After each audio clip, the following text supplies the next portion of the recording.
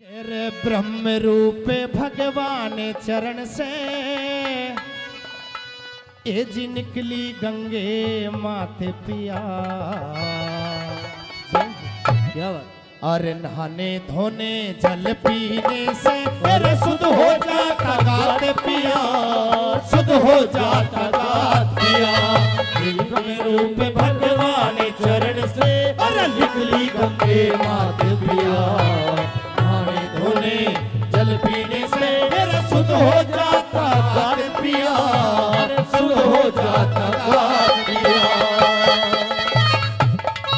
बहुत अच्छे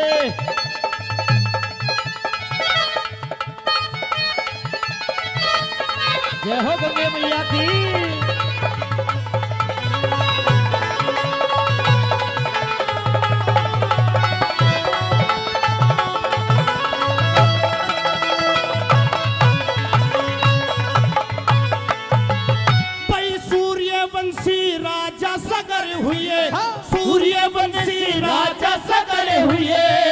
जिसके बेटे साठ हज़ार। अश्वमेघ, दिखे अश्वमेघ यज्ञ करा राजा ने जिसमें जुड़ गया मेरा सब संसार। जिसमें जुड़ गया सब संसार। हेरा श्याम वरण घोड़ा छोटा हेरा श्याम वरण घोड़ा छोटा अरे तांबे के दिए अक्षर डाले घोड़ा पकड़ा हेर इंद्र ने जा बांधा कपिल मुनि के द्वार जा बांधा कपिल मुनि के द्वार अरे घोड़ा बंधा ओ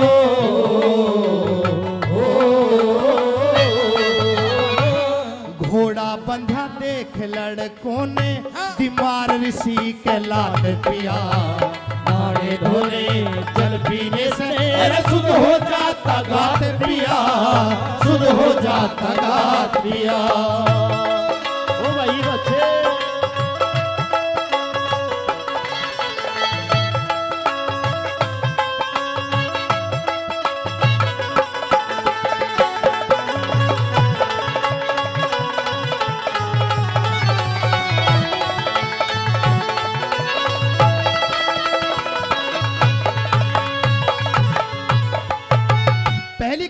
माध्यम से बताया सजनों कि सूर्यवंशी राजा सगर धरती पे वो राजा हुए, जिनको अपने साठ हज़ार पुत्र और इतनी बलशाली सेना होने का बड़ा अभिमान था।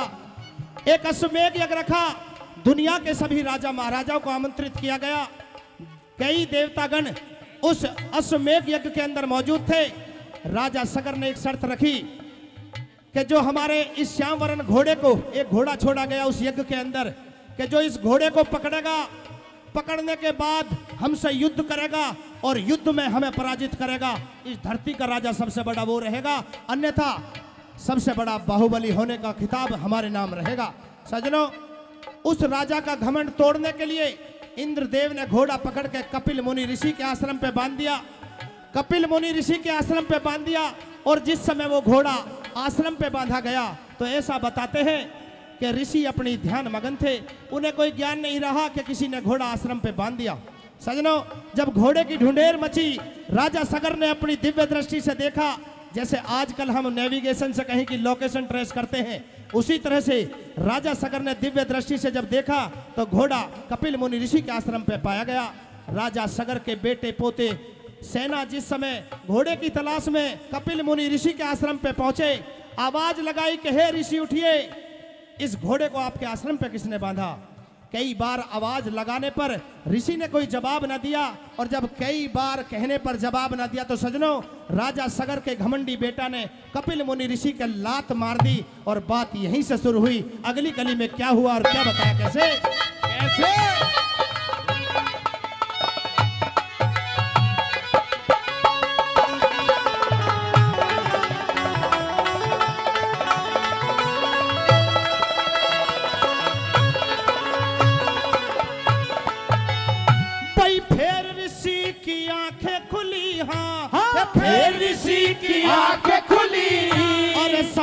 ढेर बनाया। अंशुमान दिखे अंशुमान सगर का पोता फिर गुण बाटो बने आया रे गुण बाटो बने आया। फिर चाचा ताऊ रे मरे देख के। मेरा चाचा ताऊ मरे देख के। जी मुक्ति को चाहया।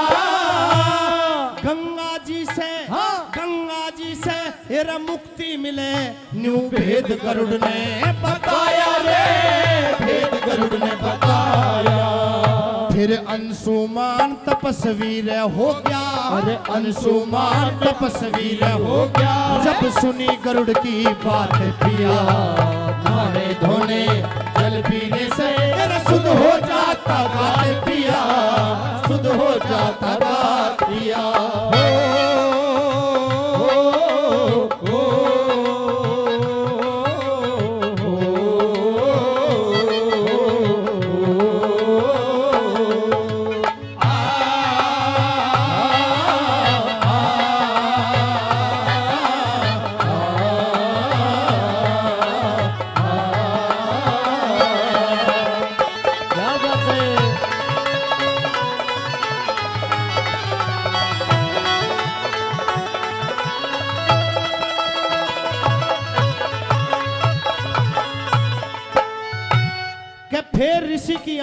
सबका ढेर बनाया।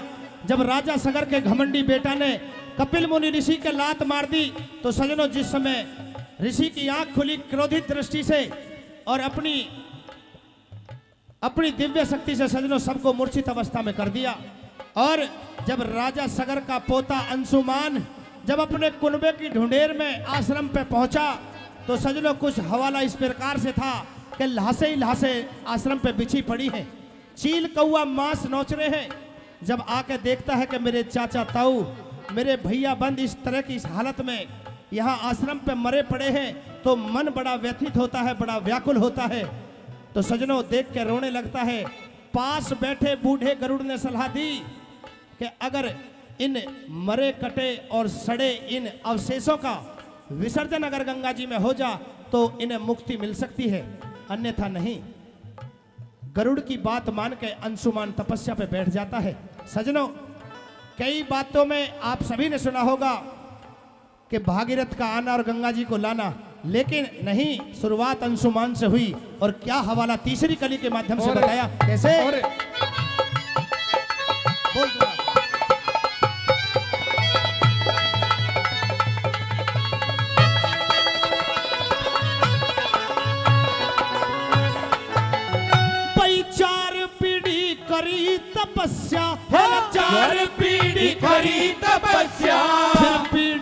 पंचम आई।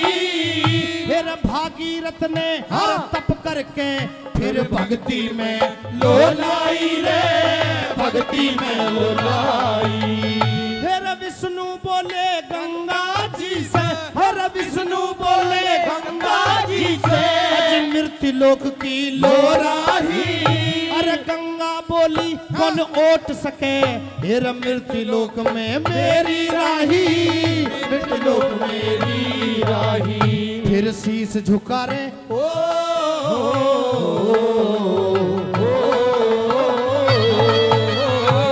शीस झुका तुम्बे में ओट गया। वो त्रिलोकी का नाथ पिया। धोने, जल पीने से सुध हो जाता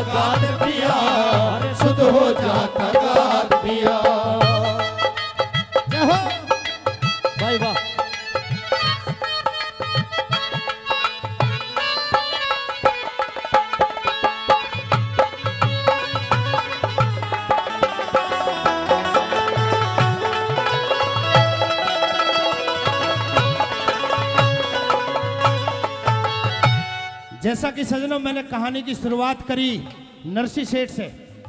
बात कहाँ से शुरू हुई, कहाँ जाके खत्म हो रही है?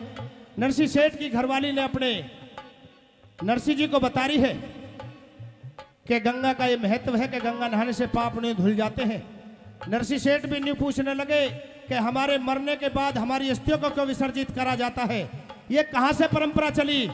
तो ये परंपरा सजनों यहाँ से चली कि राजा सगर के बेटों को उनकी अस्थियों का विसर्जन करने के लिए उनके राजा सगर के पोते अंशुमान ने तपस्या करी, चार पीढ़ी करी तपस्या, फिर पीढ़ी पंचम आई पांचवी पीढ़ी में भगीरथ ने तप करके फिर भक्ति में लोलाई। विष्णु भगवान ने भी सिफारिश करी, विष्णु बोले, गंगा जी से मृत लोक की लोराही गंगा बोली, कौन ओट सके इस मृत लोक में मेरी राही? गंगा ने विष्णु भगवान से कहा कि अगर मैं धरती पे गई तो मेरे वेग को कोई संभालने वाला नहीं है। लेकिन नाथों के नाथ, भोलेनाथ अपनी जटाओं में समा करके धरती के वेग को कम कर धरती पे उतारा और गंगा माँ जब धरती पे उतरी, अपनी राह बनाते हुए कई सौ मील जाते हुए अपना स्थान अपने सागर का बढ़ाया मान लोगों। और भोले शंकर ने अपनी जटाओं में समा करके और गंगा के वेग को कम कर धरती पे उतारा। राजा सगर के बेटे की उन अस्थियों का विसर्जन गंगा जी में हुआ। जब से ये परंपरा जब हमारे मरने के बाद फूल चुप करके हमारी जो अस्थियों का विसर्जन होता है ये उसी समय की परंपरा आज तक चलती आ रही है और सदियों और युगों युगों तक चलती रहेगी। बोलिए गंगा मैया की और लोगों तीन कली के माध्यम से इस रागिनी का सारा सार समझाते हुए नरसिंह सेठ की घरवाली बताती है। लेकिन जो कवि अपनी कलम से लिख रहा है अपने बारे में और अपने गुरु धाम के बारे में बताते हुए क्या लिखा? चौथी कली के माध्यम से। कैसे?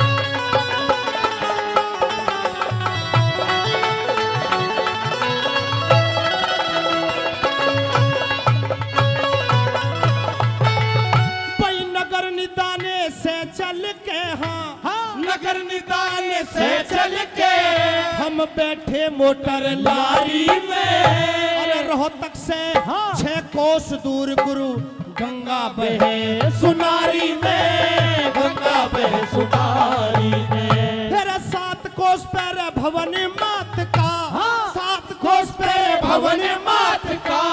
खिदमत रहे तुम्हारी में। अरे दिल्ली तक मोटर गाड़ी। अजी आगे रेल सवारी में मैं तो गढ़ गंगा के रहो।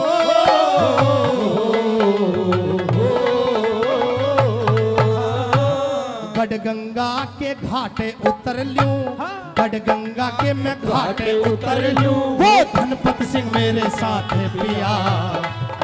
धोने जल पीने से शुद्ध हो जाता गात पिया। सुध हो जाता गात पिया। मेरा ब्रह्म रूप भगवान चरण से निकली गंगे माते पिया।